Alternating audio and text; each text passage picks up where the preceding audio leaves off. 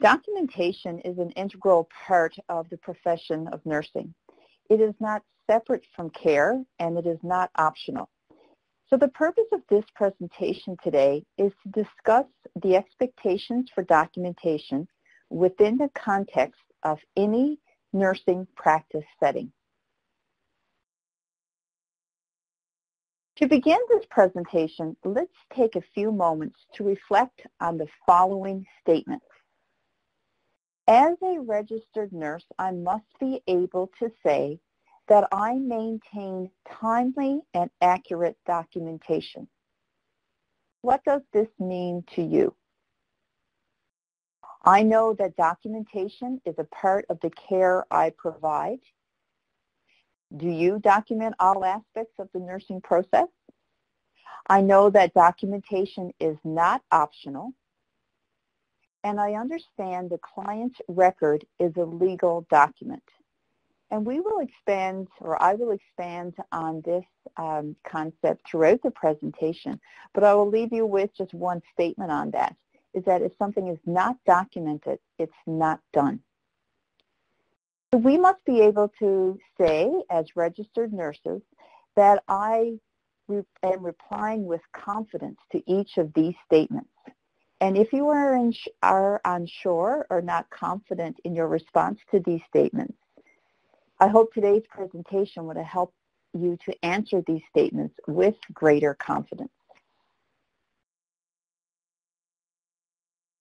This slide displays the standards of practice for registered nurses and nurse practitioners. The authority to develop, maintain, and promote standards for nursing practice is legislated in the Registered Nurses Act.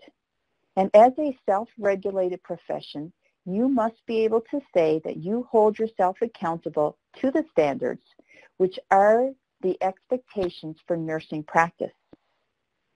So standards uh, 1 to 4 on this wheel apply to both registered nurses and nurse practitioners, and standards 5 to 7 apply only to nurse practitioners.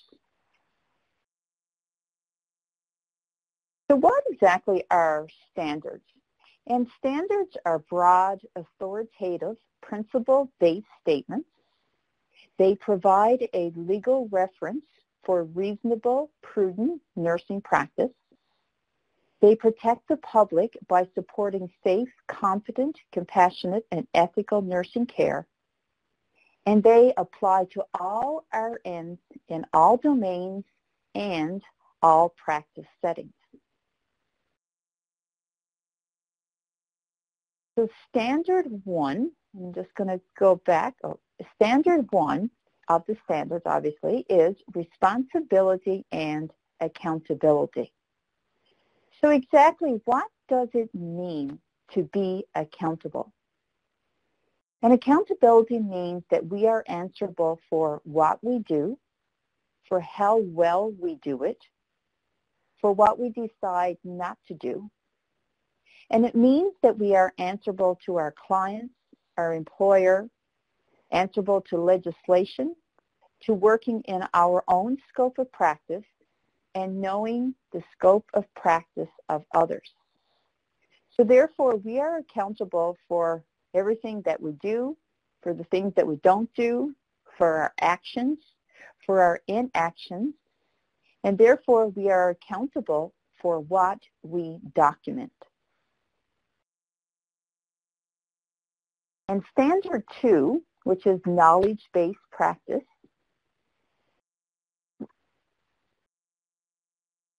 references or specific to documentation. And indicator 2.7, which states that we maintain accurate and timely documentation, including written and or electronic.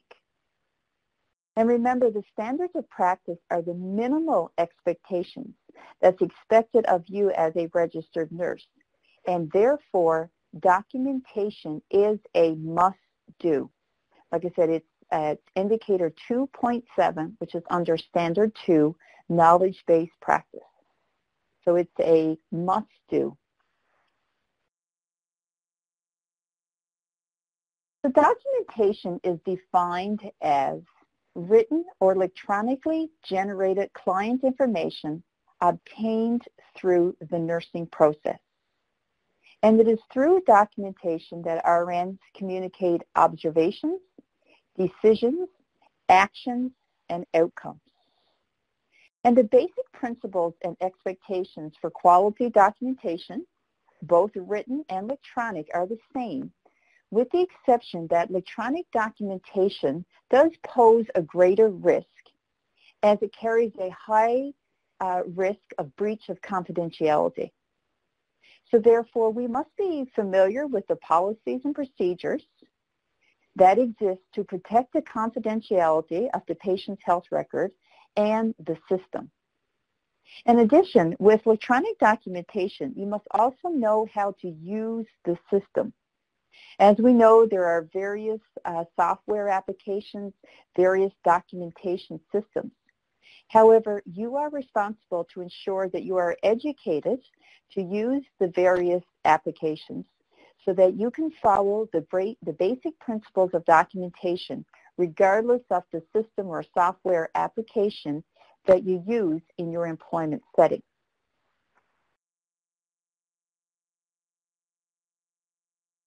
Documentation is required for all aspects of the nursing process. So you must document assessment, nursing diagnosis, planning, implementation, and evaluation. So all of these aspects must be documented. And regardless of the method used to deliver care, for example, if you're doing virtual or in person, this applies. But it's also important to remember if you are using virtual methods, let's say only for assessment, so you cannot, you know, you're not seeing the uh, client, um, you know, face to face per se, you're using a virtual method, documentation um, of an assessment should be expensive. And as we know, documentation is a part of care. It is not additional to care. The RN should also document all client transition points. For example, admission, discharge, transfer, or transport. The documentation should reflect what information was provided to prepare the client for any of these transitions. The documentation should also include the client's status at the time, the education provided, whether that is verbal and written, the arrangements for follow-up, any evidence of the client's understanding, and if there was family uh, involvement in those uh, transition points.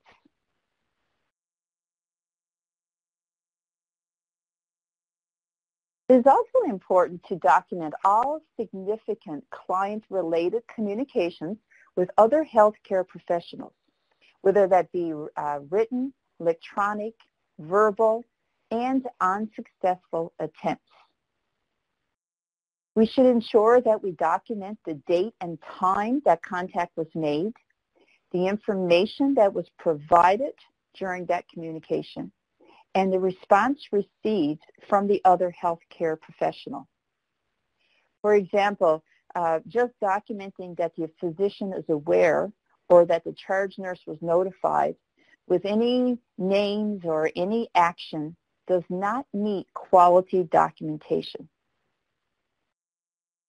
It's also important to remember that if that communication was unsuccessful, uh, you, it's very important to document information about any alternate channels that you pursued to ensure that the client's care needs or services were met.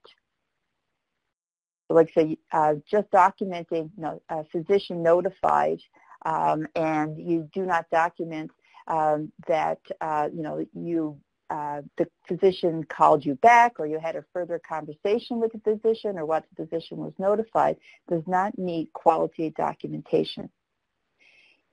It is also important to be uh, aware of employer policies surrounding electronic authorized practice. For example, the use of emails uh, and mobile device uses to communicate with other healthcare professionals.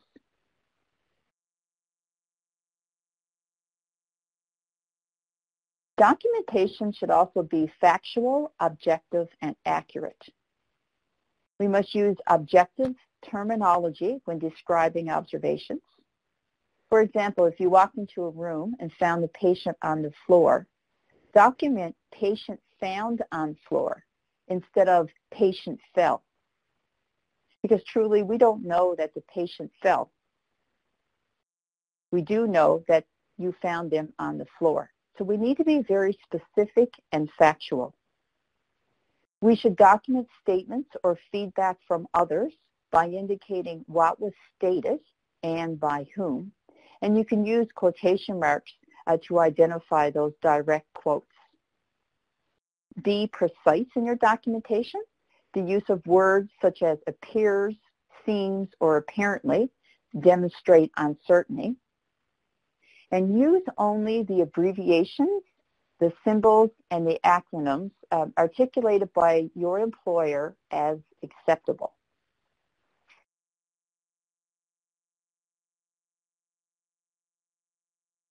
Any mistaken uh, entries or errors uh, in your documentation must be corrected according to your employer policy.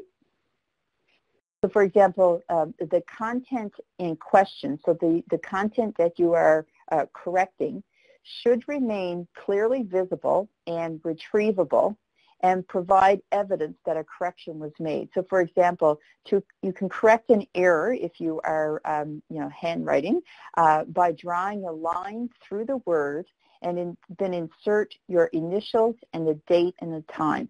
So by drawing that uh, line through um, the words, you can still see what was actually written.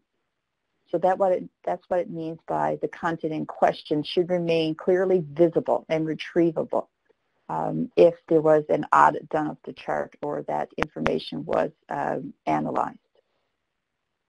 It's very important not to leave any blank spaces. Uh, this must, might provide an opportunity for uh, others to add information that's unknown to uh, the original author. Ensure you have accurate spelling and legibility, as in misspelled words or any eligible entries uh, could result in misinterpretation information and can lead to an adverse event and validate you have the correct client record. So you do not want to be documenting um, in the wrong uh, chart, in the wrong client record. So ensure that every page of the health record uh, must contain the uh, correct client identifiers um, and um, that is whether it's you know in an actual physical uh, chart, a paper chart, or if that is in an electronic health record, uh, you must ensure that um, you have the correct client by ensuring you know you have the uh, correct client identifiers uh, available on that screen.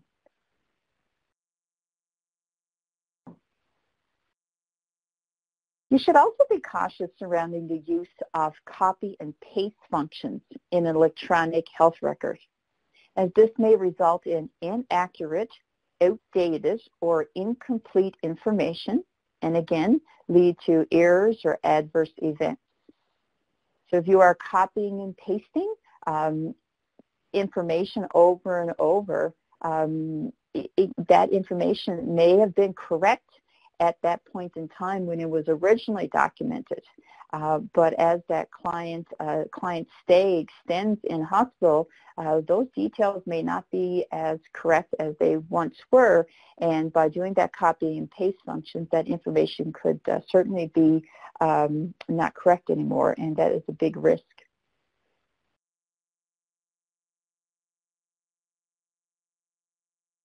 Provide you here with an example, something to reflect on. So I'm going to read out this scenario, and I want you to think, you know, or consider, does the following example meet the standards of practice in respect to documentation based on what I've highlighted thus far in this presentation? So it's January the 1st, 2021.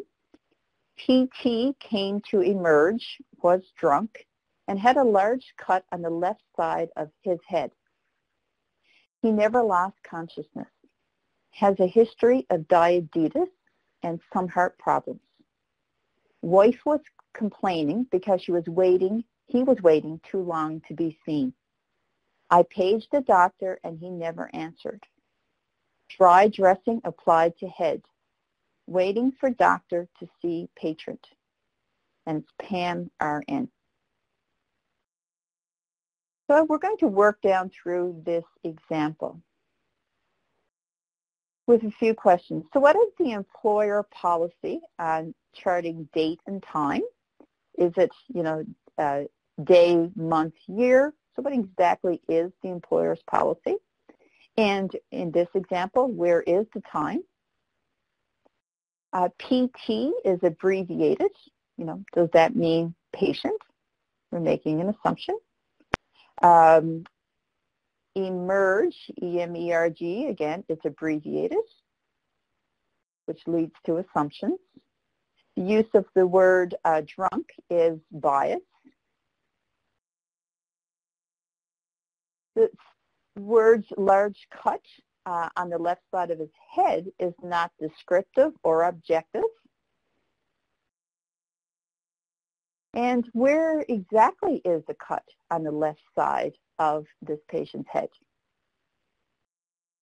The statement, he never lost consciousness. What exactly does that mean? How do we define that? You know, how is that, what evidence is to support the fact that he never lost consciousness?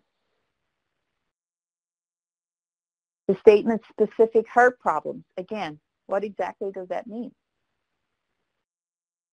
The wife's comments uh, surrounding the fact she's been uh, complaining that he was waiting too long to be seen um, is kind of irrelevant to this patient's care. And page the doctor. So what doctor was paged? Um, and he never answers. Uh, did the nurse uh, try to page him again? Uh, what exactly, what other action was taken? Or was she just waiting to see? He or she waiting to see if somebody was going to call back. Dry dressing applied to the hedge. Again, it's a dry dressing, but where was it applied to the hedge? And um, the word patron is spelled wrong. Right? And then we have a lot of white space, and then Pam, RN, and Pam who. I'll follow up with just another example.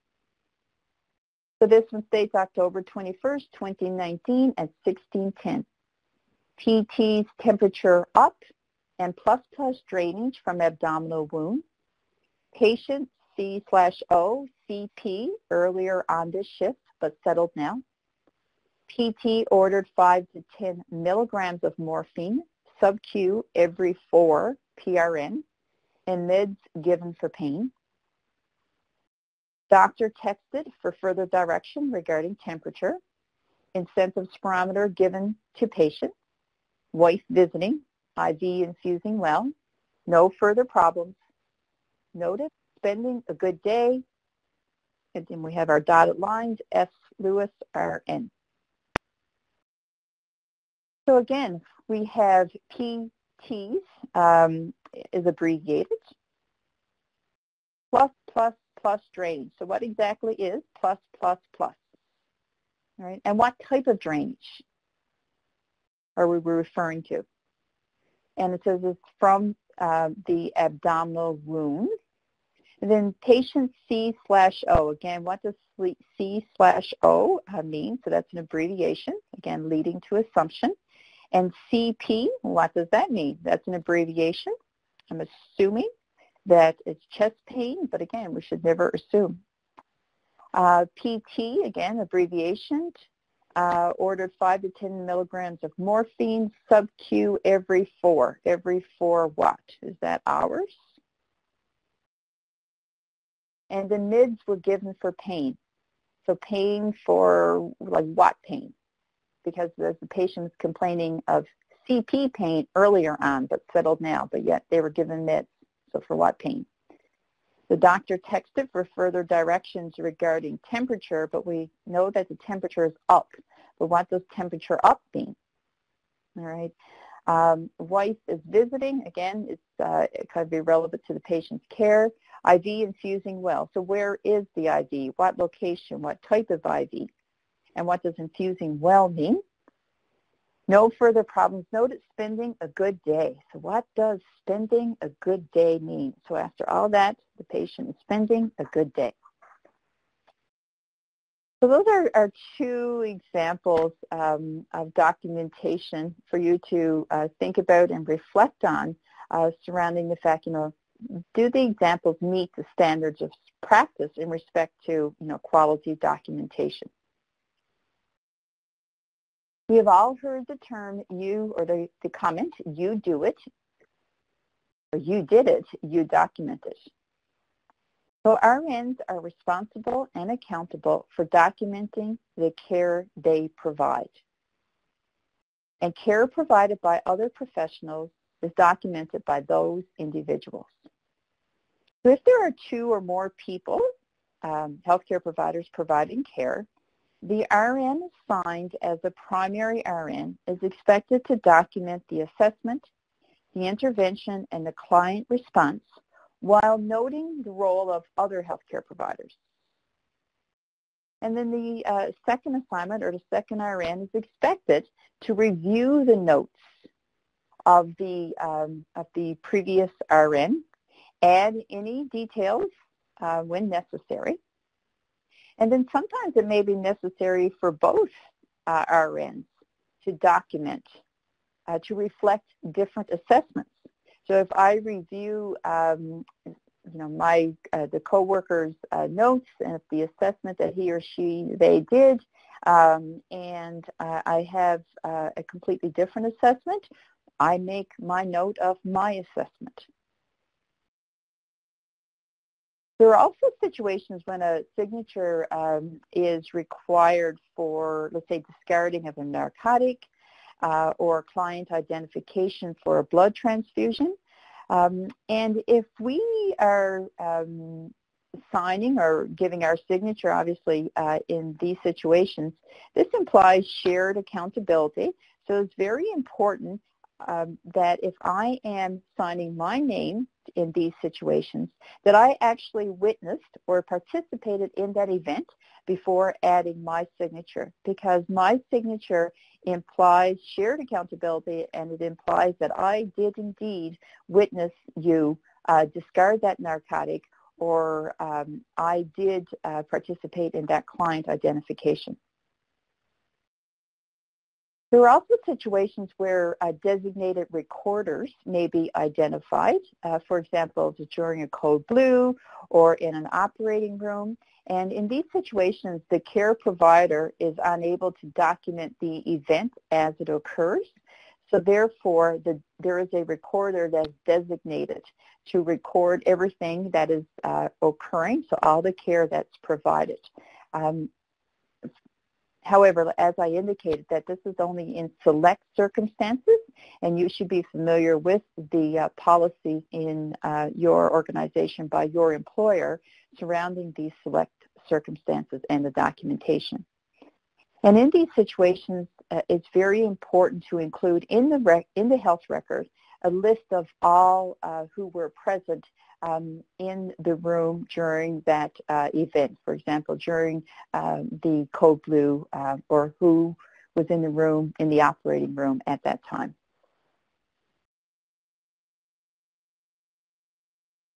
Students are expected to document the care they provide in accordance with employer and academic policies. And the co-assigned RN is to record their own assessments interventions, and evaluations. So um, as a registered nurse, if you are signing notes that are written by students, you are adding uh, a level of accountability. All right. So if you are signing that student's note, you are saying that I agree with exactly everything that is written by the student. This student, I my eyes have seen everything the student is describing. So it's just it's something to think about uh, if you are signing notes written by students. There's really there is no need um, because you as that co-assigned RN, you are uh, responsible to record your own assessment, interventions, and evaluation as you are assigned to that specific client. So remember, if you did it, you document it. So when should documentation occur? And documentation should occur at the time the care or service was provided or as soon as possible. And documenting as close as possible to the time of care enhances the accuracy and the overall credibility of the health record. Documentation should never occur prior to the care or service being provided. Documentation should be chronological. And again, and again, this enhances the clarity of the communication and enables other healthcare professionals to identify the care that was provided, any changing patterns in the client's health status, and then the outcomes or evaluations of that care. There may be situations where it's not possible to document at the time of or within a reasonable period following an event, and therefore a late entry is required. Again, it's very important to know your employer employer's policy surrounding a late entry. But if you are completing a late entry, you should include the date and time of the late entry, as well as the date and time of when that care or intervention was provided. And then in the event of a lost entry, for example, if there was a computer uh, malfunction, the RN may be, may be required to reconstruct a new entry. So the new entry must clearly indicate the information recorded is a replacement for a lost entry. And if the care or event cannot be recalled, the new entry should state that the information for the specific time of the event has been lost. Because if you uh, can recall and you document nothing, it looks like, you know, of course, nothing was done during that time period. Not documented as not done. Um, however, like I said, if you cannot recall it, uh, you do still need to uh, make a note indicating that it cannot be recalled and, and like, stating it as such. So that again, uh, if there was an uh, analysis done of your documentation, um, it, it, would show a clear picture of what actually occurred um, in that situation.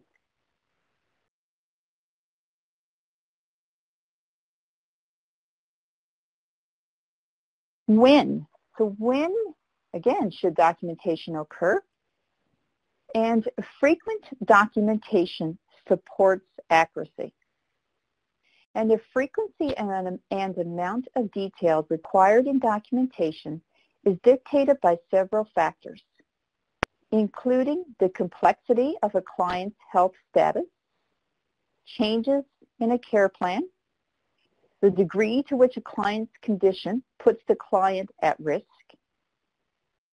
the degree of risk involved in a treatment or a component of care, and also according to employer policy. And the frequency of documentation is particularly important when precise assessment is required because of that change in the client's uh, condition or health status. It's also very important to document frequently. Um, when um, you have, you know, multiple clients, there is um, a, a lot happening. There is, you know, complexity is increasing. There's a lot of changes. And um, because of everything that is happening around you and in that environment, you know, documenting uh, frequently and um, and a large amount of detail uh, will ensure that you remember the details and the care you provide as it is happening. Um, and if not, if you wait a little period of time, things will become clear, uh, cloudy surrounding those multiple patients and the uh, events that are occurring.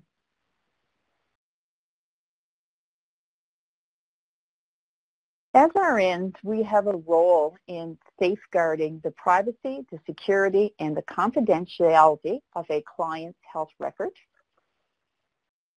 And in, in electronic documentation, access is controlled using passwords and or other access requirements. Therefore, it's imperative for you to maintain the security of your user password and to use other safeguards such as logging off and it is also uh, important in maintaining uh, the client's privacy and confidentiality for you to be familiar with the Personal Health Information Act. Because in some situations, uh, depending on uh, your setting and your environment, you may be a custodian of personal health information and therefore you are subject to requirements under the Personal Health Information Act. So therefore, um, if you're not familiar with this act, uh, please become familiar um, with this piece of legislation. Remember, only information relevant to the care of the client is documented in the client's health record.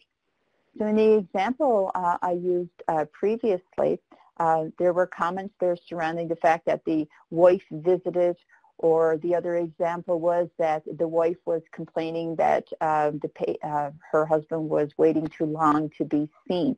Okay, um, so that's an example of where that is not required in that client's chart uh, because we only need information that is relevant to the care of the client, that is specific to that specific client.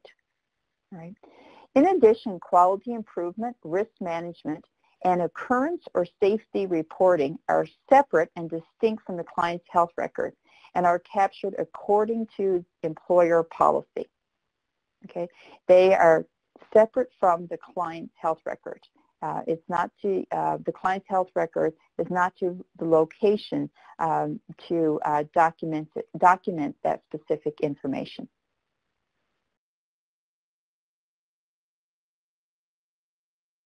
And as RNs, we must comply with uh, professional duty to report and uh, in accordance with legislation.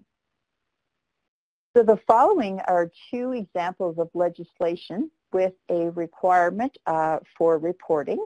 For example, the Public Health Protection and Promotion Act and the Gunshot and Stab Wound Reporting Act are two pieces of legislation um, that we have a professional uh, duty to report um, um, and document, a complete specific documentation. And again, it's very important to become familiar with these pieces of legislation um, and uh, how um, you are to complete the documentation that's required uh, in these uh, pieces of legislation.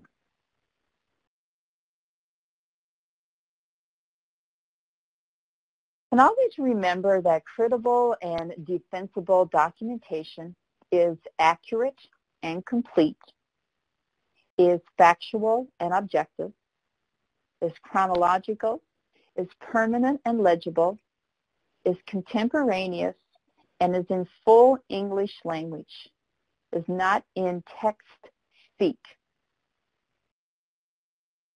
Very important points to uh, remember when we are documenting.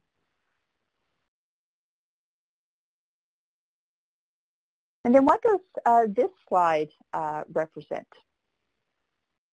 Do you think it meets uh, you know, quality documentation? And essentially, uh, it means that if it's not documented, it's not done. So if, if uh, you don't document the care that you provide, it indicates and shows that nothing was done. This is not the kind of uh, slide or an example of documentation um, that you would want to see in uh, a client's chart.